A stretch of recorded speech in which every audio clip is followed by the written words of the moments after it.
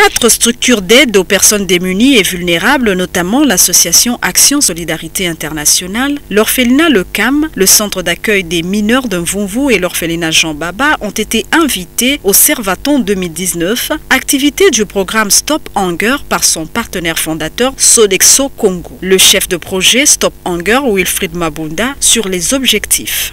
Au sein de Sodexo, nous avons donc euh, un programme qui a été initié depuis 1996 par les agents Sodexo qui s'appelle le programme Stop Hunger.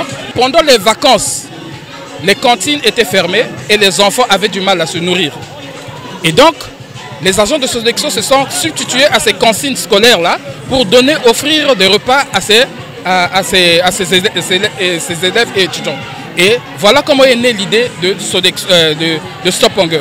Ainsi, avec l'appui de ses partenaires et fournisseurs, Sodexo Congo a offert un repas à près de 300 enfants à l'image de ses actions à travers le monde pour maintenir la chaîne de solidarité et montrer qu'à cause de la faim, les personnes vulnérables peuvent être abusées de toutes les manières possibles, tout en sachant que ce n'est pas en un seul repas que la faim peut être éradiquée, mais c'est à travers l'éducation et la formation. Nous avons beaucoup de donateurs et il y a beaucoup de gens qui mettent de l'argent au sein de ce programme.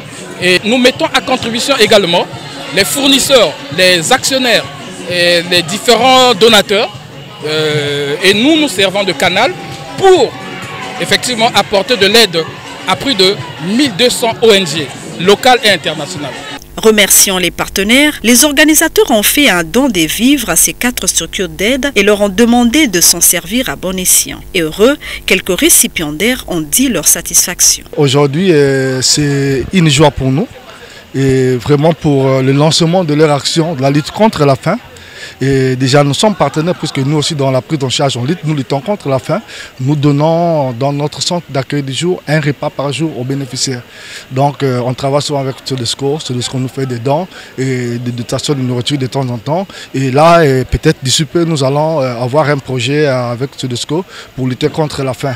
Donc, euh, pour nous, c'est un geste, un, bon geste et ça nous va droit au cœur. D'ailleurs, je salue l'acte fait par Sodesco. Nous sommes très ravis de recevoir euh, ces dons et de la part de nos donateurs parce que nous étions dans le besoin et nous saurons que vraiment qu'il faut faire bon usage pour euh, aider encore de mieux en mieux à, à sauver les enfants du jour au lendemain, du jour au jour.